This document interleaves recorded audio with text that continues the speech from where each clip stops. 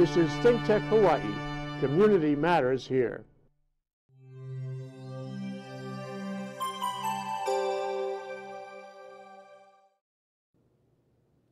Aloha.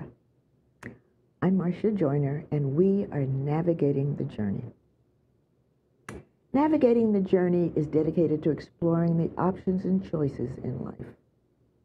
This week begins the 76th commemoration of the bombing of Pearl Harbor, the day the entire world changed. So today we will visit with my new best friend, who was a child on December 7, 1941, when Pearl Harbor was, Pearl Harbor was bombed. So if you're ready, join us as we ask you to navigate the journey, a really beautiful journey that all of us, probably none of us know anything about except what we read. But here, our guest is a real live person who was a child at that time at uh, Pearl City Peninsula, right there where all of the action happened. Aloha. I oh. am so glad you are here. This is just such a pleasure to have somebody who was there to see, to witness, to feel what it was like to be a child and have the whole world come unglued. Aloha. I'm, Aloha, welcome. Marsha. Good morning. So tell us, tell us, write all about you. How is it that this lovely Hawaiian is at Pearl City Peninsula at the time of the bombing. Tell us. Well, Mama worked for Pan American World Airways, and in order to fly to Hawaii during that time, you didn't land on asphalt.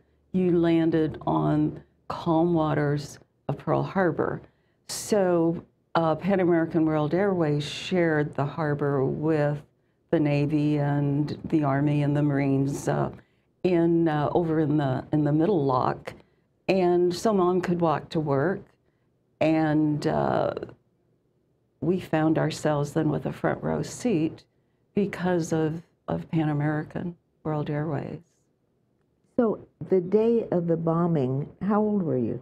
I'm six years old. It's a Sunday morning, so Sunday Mornings, uh, we were to church by 9, so it's 7.30. Of course, mom's in the kitchen getting breakfast, chopping Portuguese sausage. you know, and, um, and I'm in there, got my dog, and uh, we hear airplanes going over. Well, not unusual.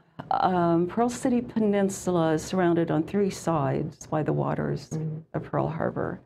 And, you know, from if I walked out of the house and to the end of the street, I could see the Utah.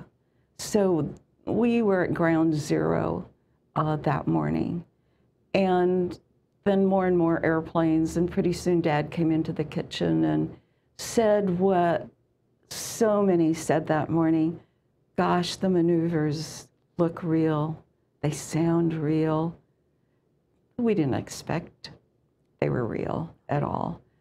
But when the house started shaking, the table started shaking, and we heard a loud explosion, that's when Dad ran out into the front yard, and I was right behind him, and I leaned up against him. And we looked up above our house, just above the treetops, and we could see the torpedo bombers. So you can see the. Well, they they were in their final descent, and you know I'm six years old. I don't know that those are torpedo bombers. I just know that the, the noise is so loud, and this is not a usual Sunday morning. Uh, what I know now is that those were the torpedo bombers because they just had a couple of hundred yards uh, to drop their bombs. The Utah got the first bombs, the 1st mm -hmm. hits, uh, expecting our aircraft carriers to be there. Luckily, you know, they weren't. Right. So um, watching them and not understanding, but feeling okay because my dad's with me. Mm-hmm. Yeah. Let me say, um, just for our audience who may not understand, if you've not seen Pearl Harbor, the vastness of the Pearl Harbor. And so, uh, as you're talking about the Utah, let's assume this is Ford Island. Right. The Utah is on Yes, right side there. Right. that she could see from The peninsula. from Pearl City Peninsula. Mm-hmm. On this side of Ford Island were all of the Battleship Row. battleships lined up. And we've all heard of Battleship Row. So they are all there. What she's talking about is seeing, and, and Pearl Harbor is huge. It's really huge. And so, uh, but of course, in those days, we didn't have all the big towers and all of the big condominiums.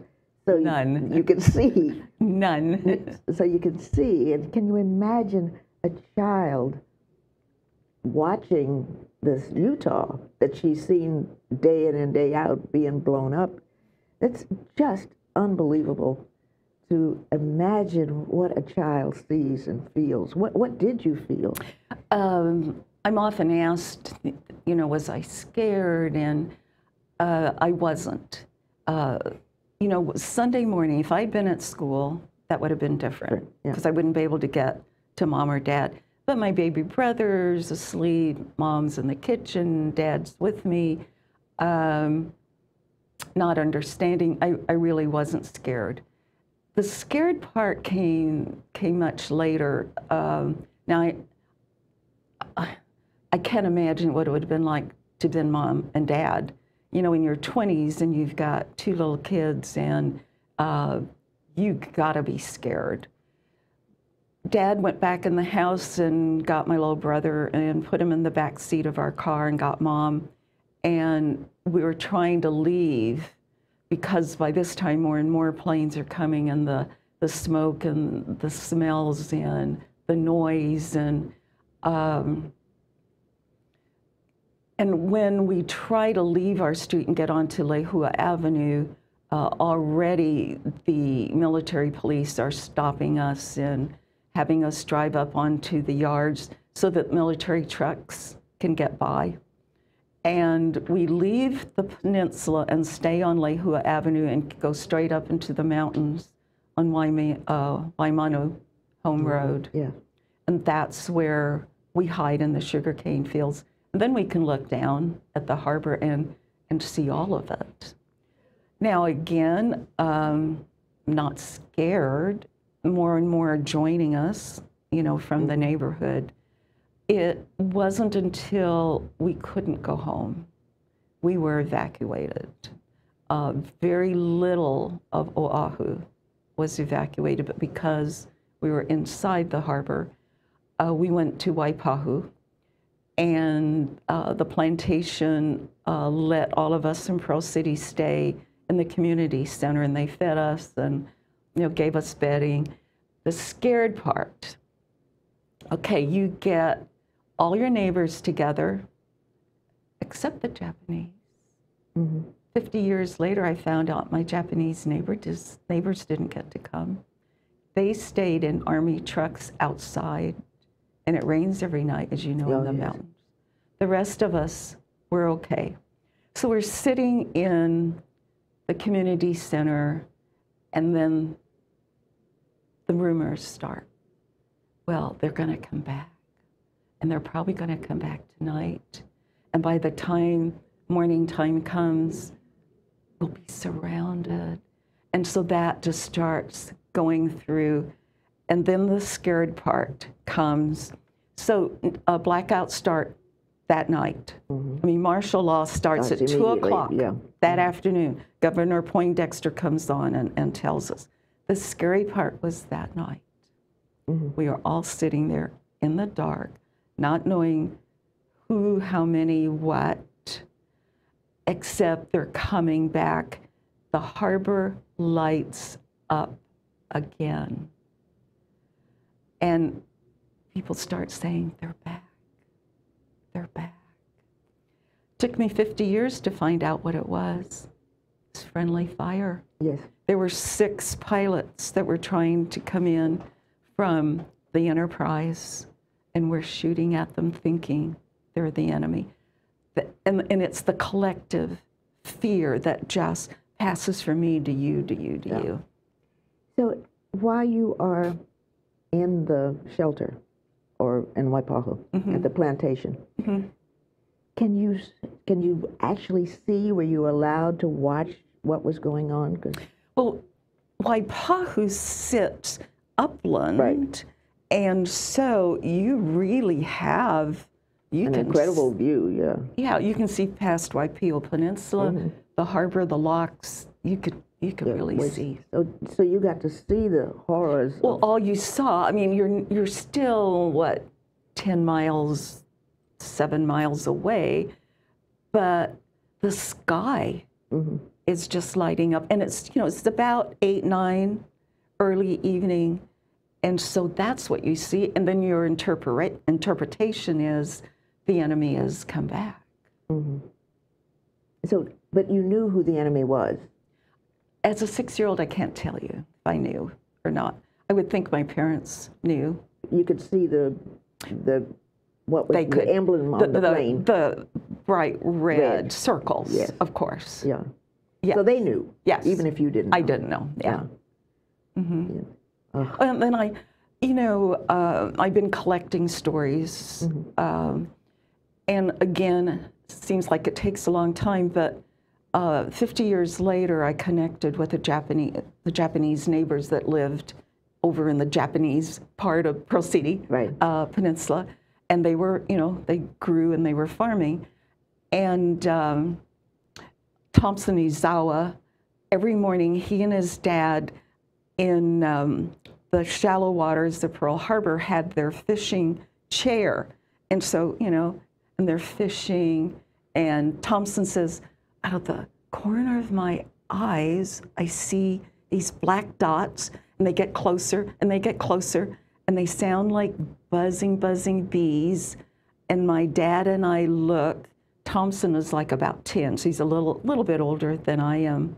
Did that every Sunday morning of the world, but this Sunday, they literally watch the Utah take the first bombs.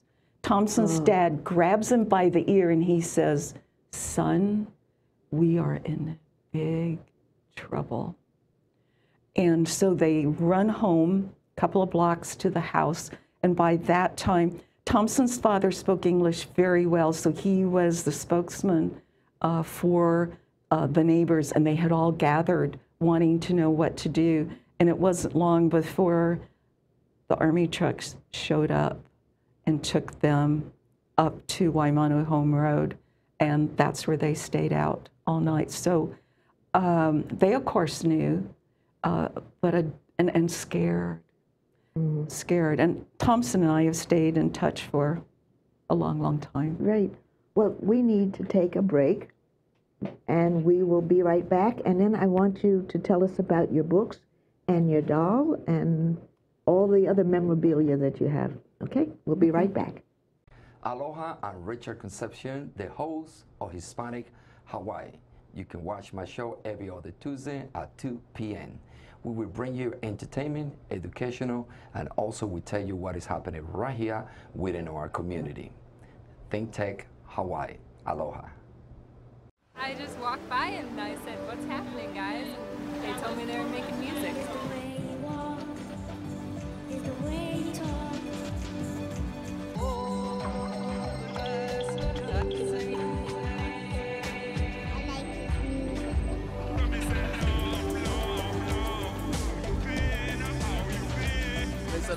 So any chance to play at all. You know, that's my life. I love music. Welcome to Sister Power. I'm your host, Sharon Thomas Yarbrough, where we motivate, educate, empower, and inspire all women. We are live here every other Thursday at 4 p.m., and we welcome you to join us here at Sister Power. Aloha and thank you.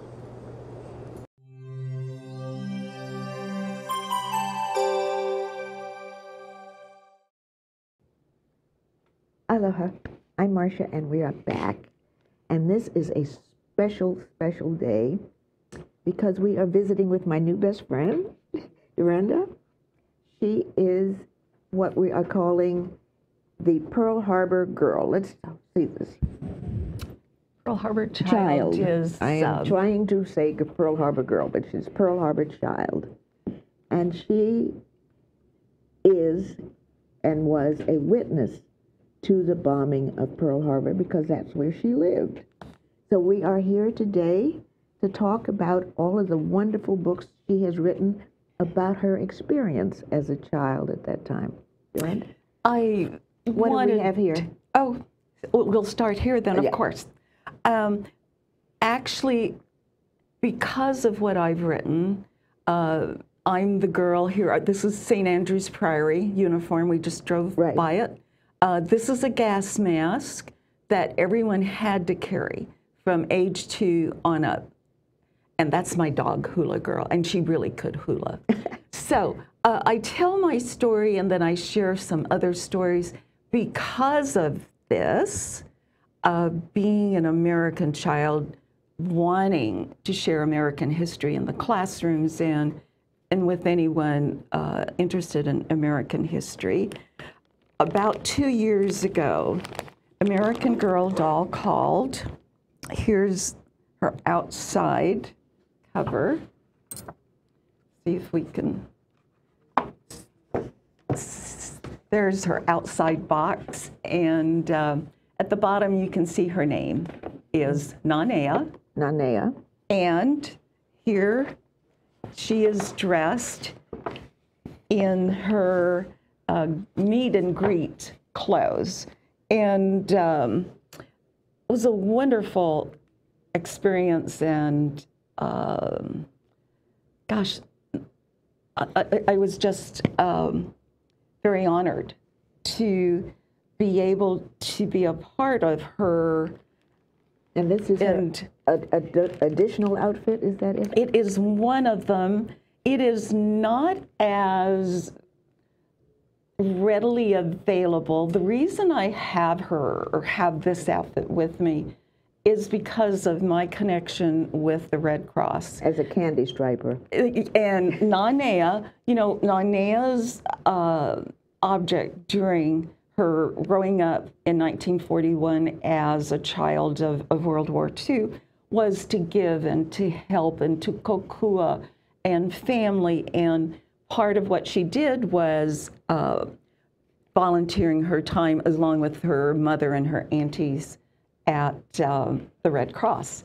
So, uh, you know, we worked on her clothes, we worked on her eye color, um, worked on the books. There, are, there are three books that will tell her story. Uh, her uh, tutu lady lives up in Kaimuki and has a store.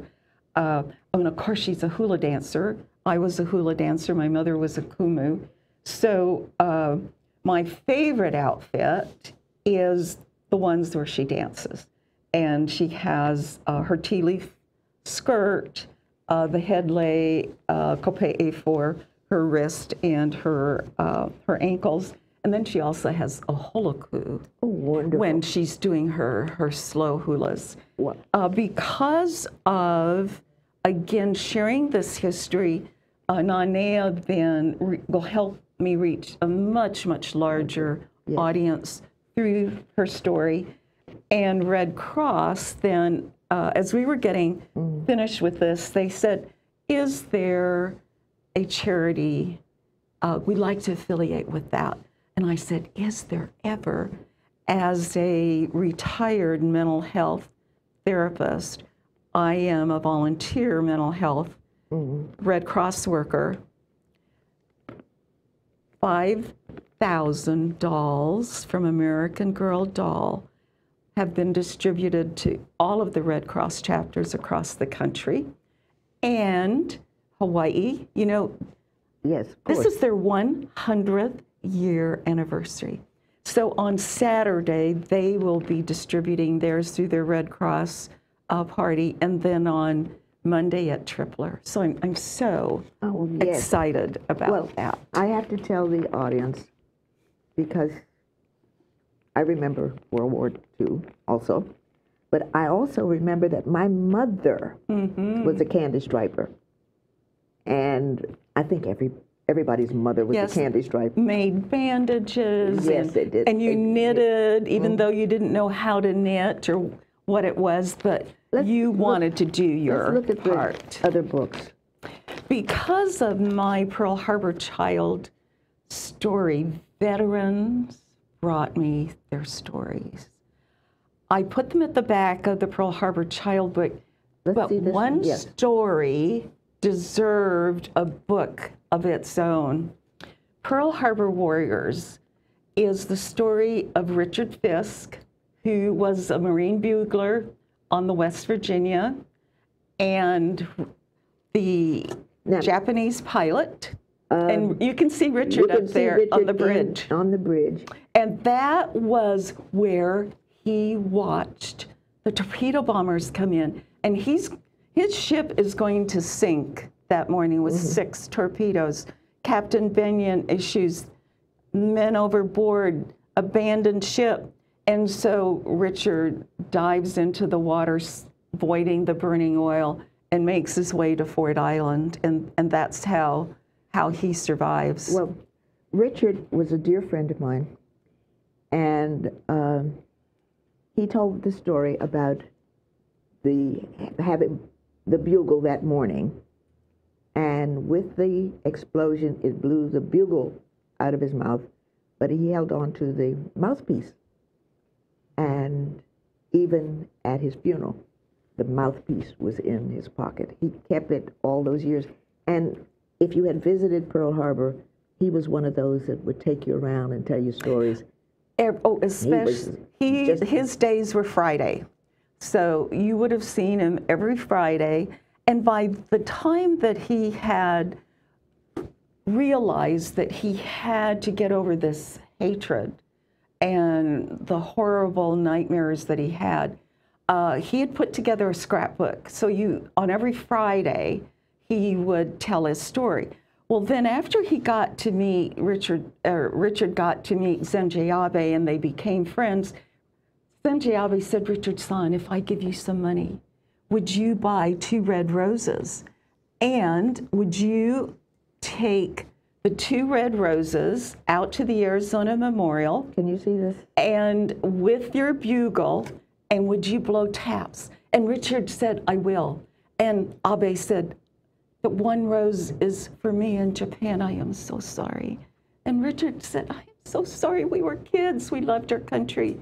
And the other rose then, Richard, is for you and all who died here. And so the last Sunday at two o'clock, he went out there, two red roses and bugle tucked under his arm and played taps. Hawaii has chosen this book to be the first simultaneously read book in five to 5,000 students, and I was so honored for that. The other honor was his family asked me to take his bugle out for the very last time. Mm-hmm. I am so pleased. Let's see this. We have a minute left here. Let's see their coloring book. Pearl yeah. Harbor asked if I would tell my story to the youngest, youngest. You know, we have so many families that come. So I tell the story of uh, they don't have to read the words, uh, they can just look at a few words. And then on the back, um, I want them, I want them to know what it was like to be a little kid, but I want them to come visit these places in person. So there's also a page for each, each one of those, um, the Bowfin, the Missouri, the Pacific Aviation Museum, and the Arizona. Well, this is quite a journey. I am absolutely delighted that you have spent this morning with us. And one last thing. This pin is one, uh, Oops. Well, that's because it's more than 70 some years old. But this is what the women and the sweethearts wore. It says remember. Yeah. And then the pearl, a live pearl, stood for Pearl Harbor. Uh, And this these are is shrapnel, is it? this when we came back from the week uh, from the cultural center. This is what I found in my yard. All of these pieces of shrapnel, and we would pick up bullets and make whistles out of them. But all of these came from uh, December 7th, 1941.